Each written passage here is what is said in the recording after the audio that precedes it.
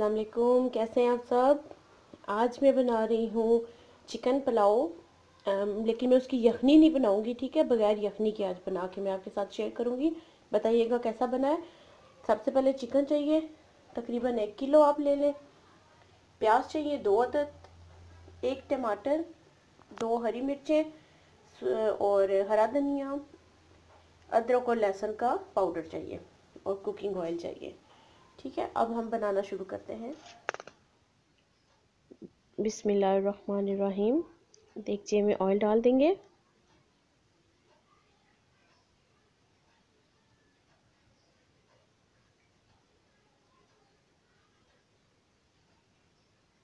अब हम इसमें प्याज ऐड करेंगे।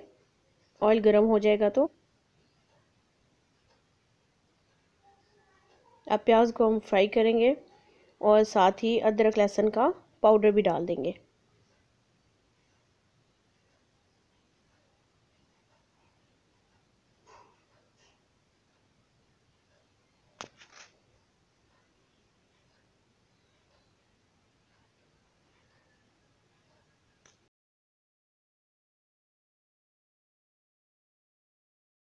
हम इसमें थोड़ा सा पानी डालेंगे।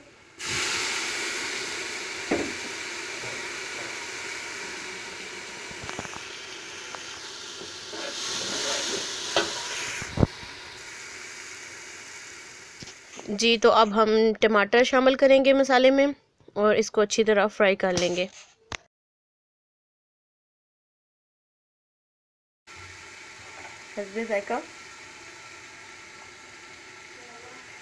और लाल मिर्च डाल देंगे और इसके साथ ही हरी मिर्चें भी डाल देंगे। और इसको अच्छी तरह मिक्स करेंगे। अब मसाले में चिकन शामिल कर लेंगे और इसको अच्छी तरह फ्राई कर लेंगे।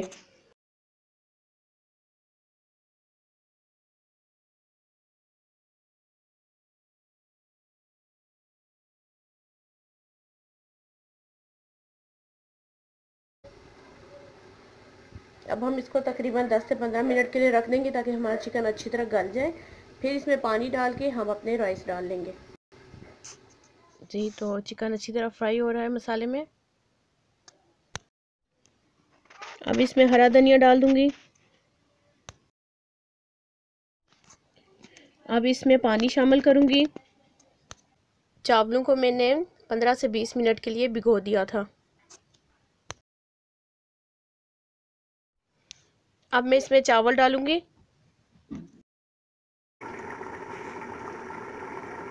जी, चावलों का पानी जो है वो तकरीबन जो है वो खुश्क हो गया है। बस बिल्कुल खुश्क हो तो हम इसको दम पे रखेंगे। अब हम इसको 10 मिनट के लिए दम देंगे। मैं रायता भी बना रही हूँ तो उसके लिए मुझे प्याज चाहिए, टमाटर चाहिए, इस तरह इनको काट लें। हरा धनिया, पुदीना, हरी मिर्च और नमक डाल के मैंने इसका पेस्ट बना लिया और साथ मुझे दही चाहिए। जी, अब हम दही में ये पेस्ट शामिल करेंगे और उसके साथ टमाटर और प्याज डाल के रायता रेडी कर लेंगे। ये रायता बहुत मज़े का बनता है, आप ज़रूर ट्राई कीजिएगा। और चिकन पुलाव के साथ तो बहुत ही मज़ा देगा। अब हम इसको अच्छी तरह मिक्स करेंगे।